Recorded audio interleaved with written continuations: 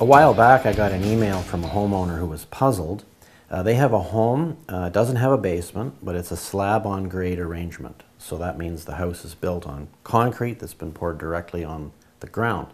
This house has in-floor heating, but there's no insulation in the concrete floor. And the problem was that every summer, the whole house smells musty. And the only way this homeowner could solve the problem was by running their dehumidifier all the time.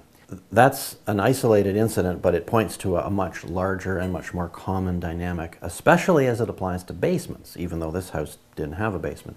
But what happens in the summer is you have warm, um, moist air, humid, compared with the ambient temperature in the summertime. So the, the warm, moist, humid air makes its way down, in the case of this homeowner, through some carpet and comes in contact with the cool concrete floor. That causes the temperature of the air to drop and the relative humidity to rise, and you get actual minute amounts of condensation happening within the carpet pile and against the concrete floor. And that's the problem. So to solve the problem, you've got to stop the ability of that air to come in contact with the concrete floor. I mean, that's one solution. The solution to this homeowner was to run the dehumidifier to keep the humidity level down, and that's a good idea. In fact, you shouldn't really be using a dehumidifier for that. An air conditioner is much better. You get a lot more drying power for a given amount of energy put into an air conditioner compared with a dehumidifier. But still, the best solution is to make it impossible for that air to come in contact with a concrete floor.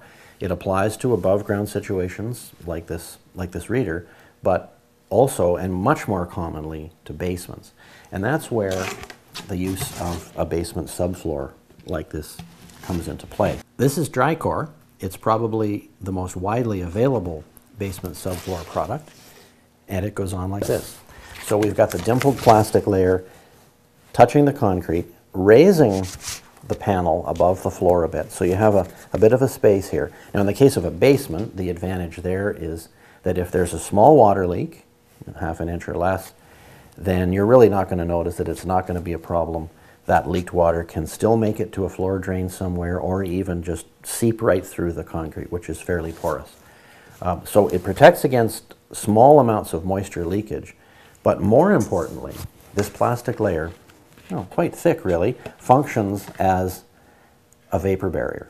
So with this on the floor and say carpet or hardwood floor on top of it, the warm, moist air in the summertime can't get through. It can't get through to the concrete. It's, there's an insulation action there caused by the airspace, but then there's also a vapor barrier action as well that stops that dynamic of the air making it through, cooling down, dropping down below the dew point, and leaving some moisture behind.